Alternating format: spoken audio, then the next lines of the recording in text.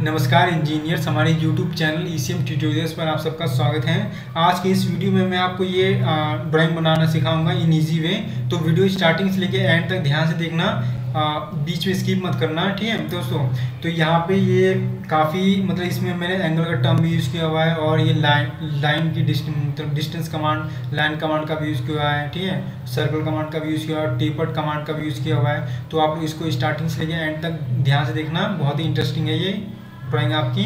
तो आते हैं अपनी ऑटो कैट की स्क्रीन पे और ऑटो कैट की स्क्रीन पे आने से पहले दोस्तों मैं आप सबसे बताऊँगा कि अगर आप हमारे चैनल पे नए हैं तो प्लीज़ इसे ज़्यादा से ज़्यादा सब्सक्राइब करें एंड शेयर करें for new and unique update videos. तो चलिए इसको करते हैं ड्रॉ अब देखिए प्रीवियस में मैंने ये वीडियो बनाई हुई थी। अब यहाँ पे मैंने इसकी जो डिस्टेंस थी, ये मैंने सही से दिखाई नहीं हुई थी, ठीक है? यहाँ पे।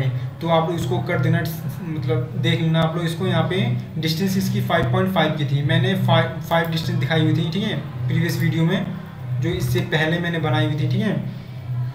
अब देखिए, इसको मैंने मैंने बाय ग्रीन विंडो सेलेक्ट किया और डिलीट कर दिया, ठीक है? अब यहाँ पे हम इसको ड्रॉ करता हूँ। अब देखिए, इसको ड्रॉ करने के लिए हम सबसे पहले क्या करेंगे? ये सर्कल ड्रॉ करेंगे। पहले छोटा वाला सर्कल ड्रॉ करते हैं, फिर बड़ा वाला सर्कल ड्रॉ करेंगे। तो छोटा वाला आप कितने रेडियस का है? Two point two point radius का है और बड़ा वाला थ्री पॉइंट फाइव रेडियस का है। तो आइए इसको करते हैं इनको।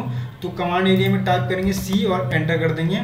और वर्किंग एरिया पे अपने कहीं भी क्लिक करेंगे। और रेडियस की वैल्यू मुझे देनी है टू पॉइंट ज़ीरो, ठीक है? एंड देन फिर एंटर करूँगा सी एंटर करूँगा आउटर पेरीफेरी पे जाऊँगा सेंटर पॉइंट शो करेगा। यहाँ पे आपको कितना टाइप करना है? थ्री पॉइंट फाइव एंटर कर देंगे, ठीक है?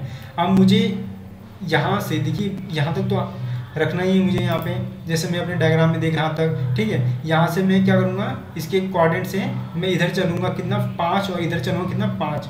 क्योंकि ये टेन की ओवरऑल डिस्टेंस है तो मैं पाँच पाँच इसका हाफ़ वैल्यू चलूँगा, ठीक है? और उसको मिला दूँगा वहाँ से। तो एल एंटर करता हूँ, फिर इसके कोऑर्डिनेट पॉइंट से मैं पाँच इधर चलूँगा। फिर मैं या तो मैं इधर दस चल लूँ ओवरलैप हो जाएगी। अगर मैं चाहूँ तो यहाँ पे इसको, यहाँ से फिर से मैं पाँच चलूँगा, ठीक है? अब मैं इसको यहाँ से टेंजेंट करवा देता हूँ, और देन इसको मिरर भी करवा सकता हूँ बट यहाँ पे आप लाइन कमांड का यूज़ किया, थोड़ा जल्दी हो जाएगा आपका काम, ठीक है? इससे अब ये अपने डायग्राम में देखते हैं, मुझे क्या करना है? मुझे इस पॉइंट से नीचे आना कितना? 2.5 और फिर इधर कितना चलना? 2.5 ठीक है? और ये देखिए, ये डिस्टेंस आपकी कितना ऊपर उठा हुआ है? 1.5 और इधर भी कितना है? 1.5 गया हुआ है, ठीक है? तो चलिए करते हैं इसको। पहले मुझे एल एंटर करूँगा मैं और इस पॉइंट से नीचे आऊँ कितना? टू फाइव एंटर करता हूँ। फिर इधर मैं कितना चलूँगा? टू पॉइंट फाइव एंटर करता हूँ। और ऊपर जाऊँ कितना मैं? वन पॉइंट फाइव ठीक है? तो वन पॉइंट फाइव एंटर करते हैं। फिर सिमिलरली ये डिस्टेंस भी कितनी रहेगी आपकी? 1.5 की। और देखिए, यहाँ पे इसको मैं इससे मिला दूँगा, ठीक है? क्योंकि हम जानते हैं कि हमारी बाय डिफ़ॉल्ट जो एंगल होता है, वो 45 डिग्री का रहता है, ठीक है? और इसकी प्रोफ़ाइल ऐसी इस तरह से शो हो रही है। तो मैं इसको यहाँ पे क्लिक कर दूँगा और जो लाइन्स मुझे नहीं देखनी, उसको मैं रिमूव कर दूँगा, ठीक है? इसको मुझे नहीं देखना।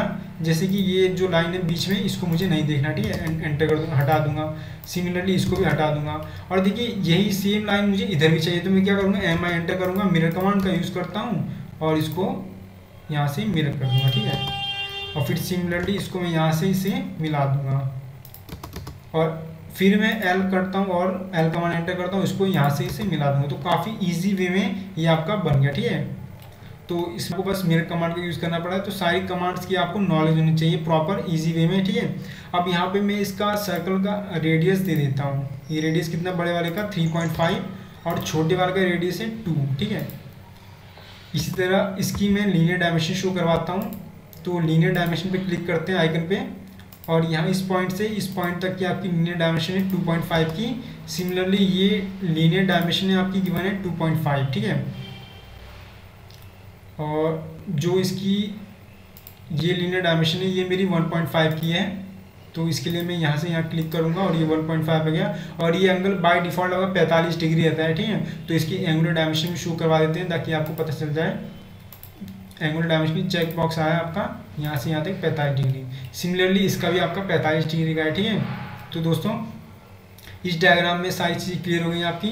तो आई होप कोई आपको डाउट नहीं हो, और कोई डाउट या मतलब कुछ भी इसको ड्राइंग को बनाने में आपको प्रॉब्लम आई हो तो प्लीज़ मुझे कमेंट करके बता सकते हैं। और ऐसी न्यू और यूनिक अपडेट वीडियोज़ के लिए हमारे चैनल ई सी से जुड़े रहिए। धन्यवाद इंजीनियर्स मिलते हैं नेक्स्ट वीडियो में।